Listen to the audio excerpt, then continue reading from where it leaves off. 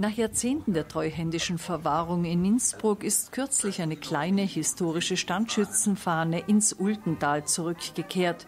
Der Verband Tiroler Schützen hat sie in Zusammenarbeit mit den Tiroler Landesmuseen an das 2020 wiedergegründete Schützenbataillon Ulten übergeben. Um die historische Fahne zu schonen, wurde ein Duplikat hergestellt. Die Fahnensegnung erfolgte in der Hofkirche. Musik